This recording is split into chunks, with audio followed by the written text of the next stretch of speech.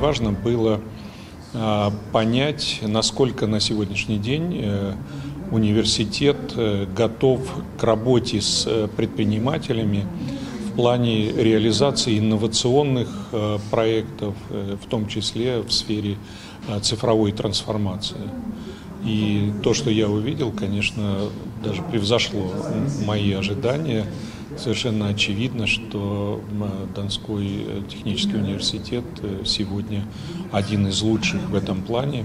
Э, в недалеком будущем достигнет вот того уровня, который существует во всем мире, э, уровня комплексного университета, в котором есть все эти компетенции.